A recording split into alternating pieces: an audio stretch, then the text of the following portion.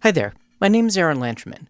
I'm a professor of electrical and computer engineering at Georgia Tech, and this is the Modern 6502 webpage by Mike Kohn that includes a 6502 he put on his house for spiritual protection.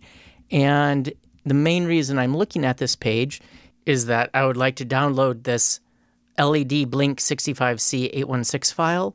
This is so I can run it on the W65C265SXB development board.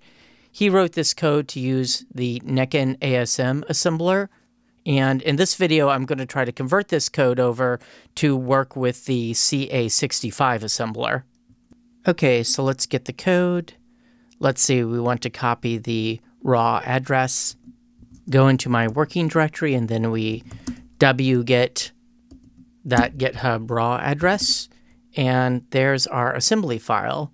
Let me pull it up in Visual Studio Code. Now you will see the Atari Dev Studio down in the lower left corner.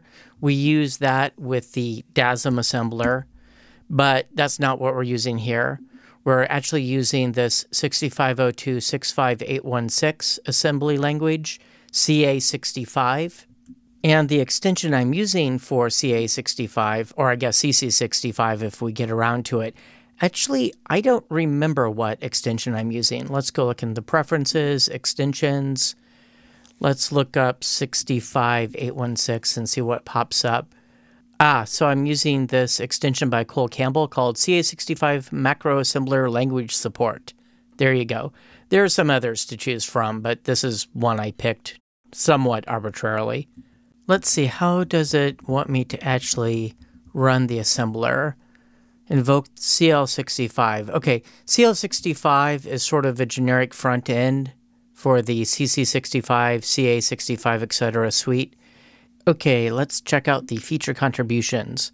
It gives us a 6502 65816 assembly language with the ID CA65. Handles the .asm extension. So that all looks good, I guess. Let's see. So if I go back to the code, that's the language we're running. Can I just start debugging? Ah, you don't have an extension for debugging 6502 65816 assembly? What do you mean should we find an extension in the marketplace? I'm already running an extension that should handle that. Why is it showing me all this? Why doesn't this just work? Ugh. Okay, so it looks like the extension wants to handle compiling with a task, and tasks only work if you have a workspace. So it looks like it wants me to create a workspace. Let's see, can I add folder to workspace, save workspace as, duplicate workspace? Am I already in a workspace? I don't really understand Visual Studio Code that well. Let's try save workspace as. Okay, we'll call this our LED workspace. Sure. Okay, it's complaining I don't have PowerShell, whatever. Okay, now that I'm in a workspace, will you happily start debugging? No, it's still unhappy. This makes me sad. If anybody knows what's going on here that can let me know in the comments, please let me know in the comments because I want this to just work, but it looks like I may have to set it up myself. If you know how to make it so I don't have to set it up myself, let me know. Anyway, configure default build task. Uh, how about create task file from template? How about we'll start with the MS build template? All right. Um, can I just copy and paste this bit from the extension description? Let's try that. Let's go over to our test JSON and I'm just going to paste this in right here. Let's see what that does. Why do I need to do that? All right, now if I've done that, will it build? Does it build? Does it build? No. Okay, it doesn't like me to debug at least. What about run build task? Oh, okay, so there's a build task. Okay, so it doesn't want me to run the debugger, I guess, because there's not actually a debugger. Okay, that's legit. Ah, there we go. Okay, it's at least running on it now. Tries to run the assembler. All right, and then it complains. Okay, now we're making progress. So it looks like it doesn't want me to use one of these debugging things that normally compiles and then tries to execute it. It wants me to run build task. Okay, now we're cooking with gas. Now I can actually start debugging, or I should say, start the translation process. Okay, so the assembler has a P816 directive. Let's replace this .65816 with dot .P816. Let's now try to run the build task again. So it doesn't like dot .org, all this other stuff, unexpected trailing garbage characters. I wonder if it doesn't like this format for hex values. So maybe let's do that. Let's try running that, or I should say, running the build task. Okay, let's see what it's complaining about now. Oh, it seemed to like that. Okay, so the next thing it's complaining about is line 16 and also line 19. Oh, you know what? I bet you the assembler has special directives for setting the 8 or 16 bit modes of the register. Okay, so it has dot .A16 and dot .A8 and these are designed to switch the accumulator to 16 bit or switch the accumulator to 8 bit. Note this command does not emit any code.